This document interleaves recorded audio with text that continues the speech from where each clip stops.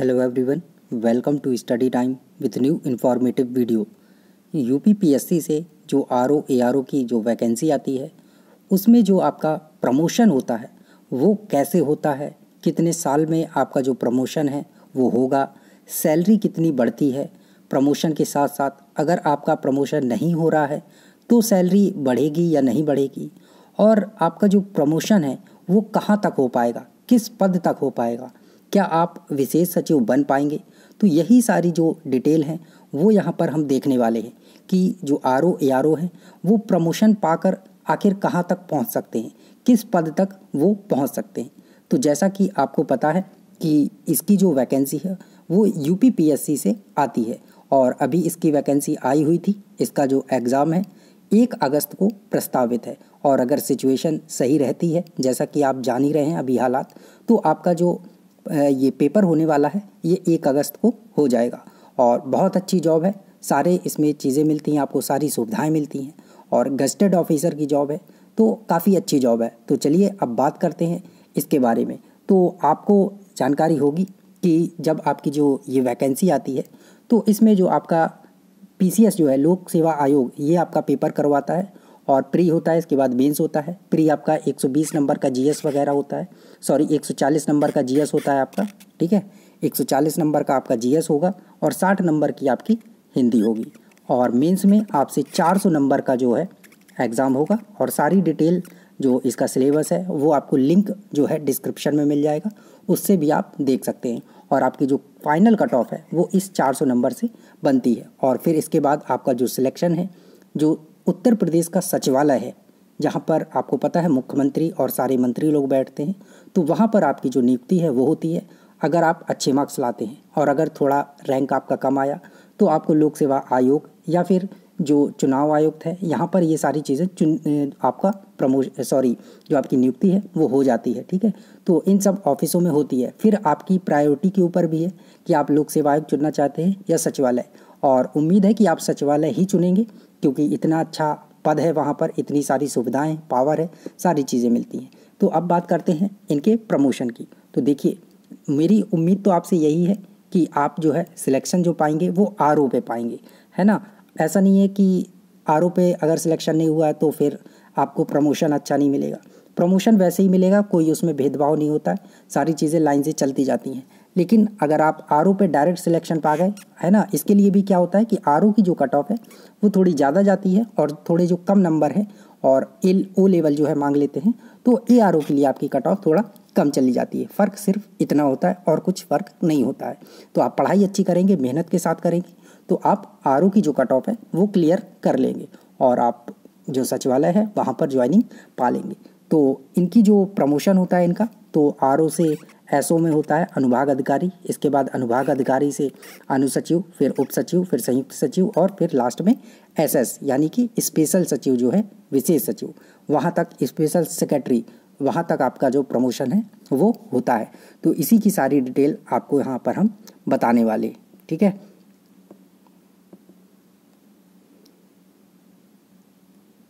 तो सबसे पहले हम बात करेंगे कि आपका जो R O A R O है, इसका प्रमोशन कहाँ तक होगा, किस पद तक होगा, फिर किस पद तक आप पहुँच सकते हैं, और जो तीसरी चीज़ है कि रिटायर होने तक आप किस पद तक पहुँच जाएँगे है ना, और आपकी जो सैलरी वगैरह है, वो कैसे क्या बढ़ती है, ये सारी चीज़ें, ठीक है? तो देखिए, अगर आप, हम आर ओ से ही लेकर चलेंगे, और अगर आप ए आर ओ में सिलेक्ट होते हैं तो दो तीन साल जो आप अपने एक्स्ट्रा हैं वो जोड़ लीजिएगा। बाकी कुछ ज़्यादा फ़र्क नहीं पड़ता है प्रमोशन में। बस आपको जो दो तीन चार साल है, वो एक्स्ट्रा लगेंगे। तो देखिए, आपका जो आरओ से एसओ में आपका प्रमोशन होगा तो आरओ से एस जो है आपका, यानी कि अनुभाग अधिकारी, यहाँ तक पहुँचने में आपको काफ़ी समय लग जाएगा। लगभग जो आपको समय लगेगा, वो तीन से पाँच साल के बीच में आपका जो समय है, वो लग जाएगा। तीन से पाँच साल के बीच में आप समीक्षा अधिकारी से अनुभाग अधिकारी तक पहुँच जाएँगे। इसके बाद आप जो अनुभाग अधिकारी हैं सॉरी जो एआरओ से आपका प्रमोशन है, इसमें एआरओ से आरओ में पहुँचने के लिए आपको जो दो से तीन साल का समय है, वो टाइम आपको लगने वाला है। लेकिन जब समीक्षा अधिकारी से आप अनुभाग अधिकारी में प्रमोशन पाएँगे, तब आपका जो टाइम है, वो ज़्यादा लगता है। आठ से दस साल के लगभग आपका जो टाइम है, वो इसके बीच में प्रमोशन में आपको लग जाएगा। फिर बाकी आगे जो प्रमोशन है, काफ़ी जल्दी जल्दी होते जाते हैं। इन, यहाँ से आपका अनुसचिव अनुसचिव से उप सचिव उप सचिव से संयुक्त सचिव, फिर विशेष सचिव। यहाँ पर मात्र आपको जो तीन से पाँच साल के बीच का समय है, वो लगता है। और जो आपकी ऊपर वैकेंसी है, वो कम रहती हैं। तो जो आपका प्रमोशन है, वो हो सकता है कि उस अनुरूप में ना हो पाए। मतलब कि आप जान रहे हैं कि नीचे जो वैकेंसी है, वो बहुत ज़्यादा रहती हैं, लेकिन ऊपर जो वैकेंसी हैं वो कम रहती हैं तो उसी सापेक्ष में आपके जो प्रमोशन हैं वो होते हैं। तो अगर ऐसा तो है नहीं कि सभी का प्रमोशन एक साथ हो जाएगा तो आप ही के बैच के कुछ लोग होंगे जो प्रमोट हो जाएँगे और आप पीछे रह जाएँ, क्योंकि आपकी रैंक वगैरह उतनी अच्छी नहीं थी। तो यहाँ पर एक प्रावधान जो है वो ये है कि अगर आपका प्रमोशन नहीं भी होता है तो आपकी जो सैलरी है वो अगला जो प्रमोशन है उसके अनुसार बढ़ जाएगी।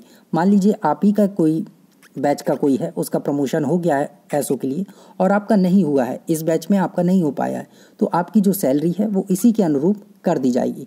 इसको चौवन सौ ग्रेड पे मिलने लगेगी तो आपको भी चौवन सौ ग्रेड पे सैलरी जो है मिलने लगेगी। मतलब आपका जो ग्रेड पे है, वो बढ़ता चला जाएगा, ठीक है? और सभी का चौवन सौ, फिर छाछठ सौ ग्रेड पे और ऐसे बढ़ाते चले जाते हैं, छिहत्तर सौ ग्रेड पे।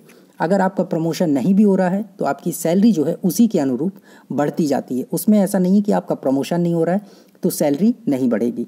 तो ये बात आप समझ गए होंगे कि आपको जो सबसे ज़्यादा टाइम लगता है प्रमोशन में, वो समीक्षा अधिकारी से अनुभाग अधिकारी बनने के बीच में आठ से दस साल का जो समय है, वो टाइम पीरियड रहता है। आठ से दस साल आपको लगने वाला है।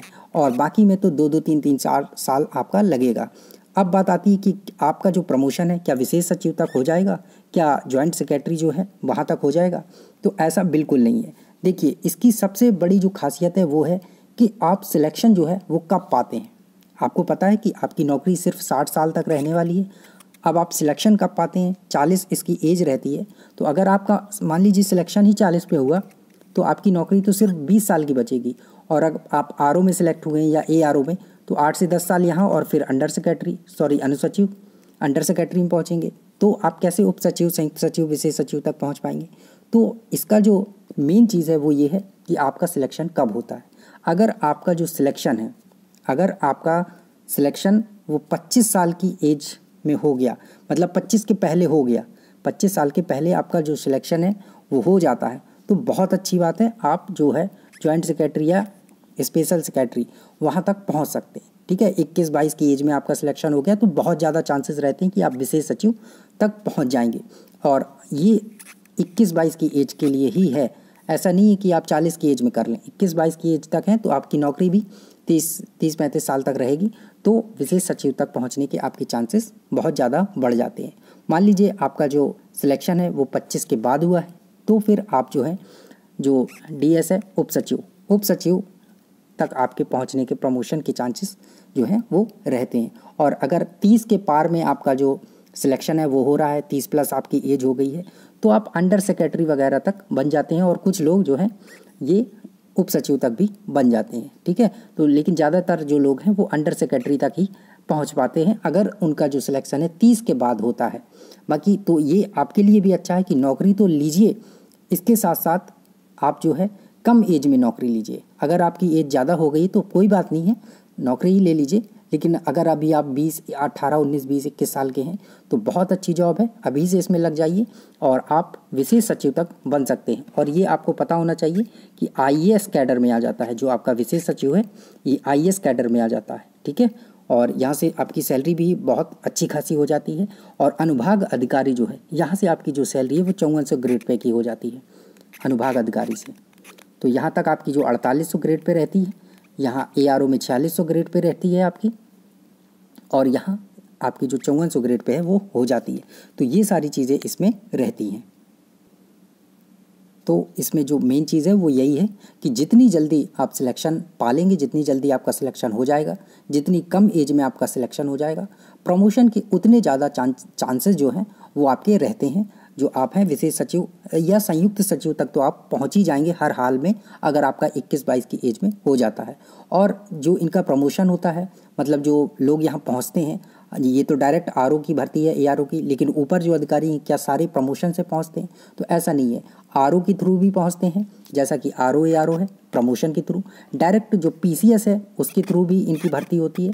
पी सी एस के थ्रू भी यहाँ इनको विभाग दिए जाते हैं, और आई के थ्रू भी होता है। लेकिन जो आरओ होगा, वो आपका विशेष सचिव जो है, इसके ऊपर उसका प्रमोशन नहीं हो पाएगा। यहीं तक ये लास्ट है, ठीक है? बाकी आई वगैरह यहाँ से शुरू करते हैं और ऊपर तक जाते हैं, उनका प्रमोशन वगैरह होता है। ठीक है? तो लेकिन जो आपको बताया कि तीन तरह से इनमें जो विभाग हैं, इनमें जो अधिकारी हैं वो भरे जाते हैं। एक तो आपका आर ओ आर हो गया, दूसरा पी सी एस कैडर से और तीसरा आई एस कैडर से।